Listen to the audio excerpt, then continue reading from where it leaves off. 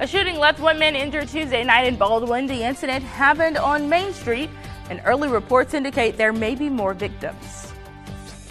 All right, St. Mary Parish deputies are investigating a separate shooting in the Four Corners area. One person was injured in that incident, which occurred on Cypremort Point Road. Late last night, Blue Cross informed the State Department of Insurance that it has chosen to withdraw its plan of re- reorganization. Therefore, today's hearing in Baton Rouge has been canceled.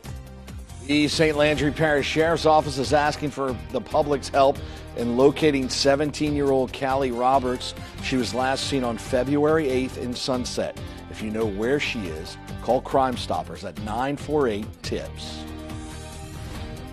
Bishop Douglas Deshotel is celebrating an Ash Wednesday Mass today at the Cathedral of St. John the Evangelist.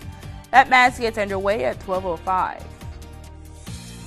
I'm Renee Allen in Lafayette. Several parades to stroll through the streets on Tuesday, enticing revelers to enjoy the Mardi Gras festivities. The King Gabriel Parade gave local leaders, law enforcement, and city officials, including Lafayette's new mayor president, a chance to show residents they're appreciated. And looking at that Valentine's Day weather, fantastic. It's going to be beautiful.